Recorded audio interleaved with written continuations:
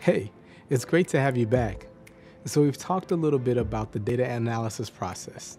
As a quick refresher, the data analysis process phases are ask, prepare, process, analyze, share, and act. You might remember me saying earlier that this entire program is modeled after these steps. So now, we're going to really dig in and explore how each of these phases work together. But I'm getting a little ahead of myself. First, let's spend a little time understanding the data lifecycle. No, data isn't actually alive, but it does have a life cycle. So, how do data analysts bring data to life? Well, it starts with the right data analysis tool. These include spreadsheets, databases, query languages, and visualization software. Don't worry if you don't know how these work or even what they are.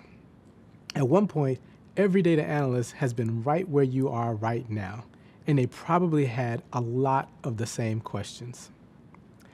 I remember when I first started learning about spreadsheets. I was a young intern, and the company I was working for was in the middle of a big systems change. That meant we had to move tons of reports from the old system to the new one.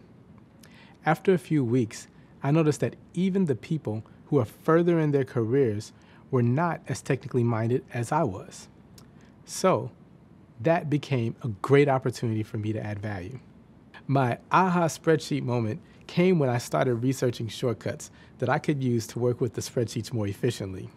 This would really streamline the process of getting those reports moved over to the new system. Once everything started flowing, I remember getting emails from other finance analysts at the company.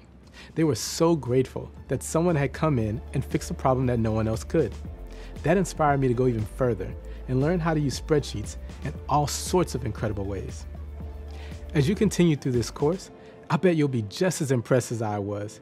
And before you know it, you'll bring data to life too. Let's get started.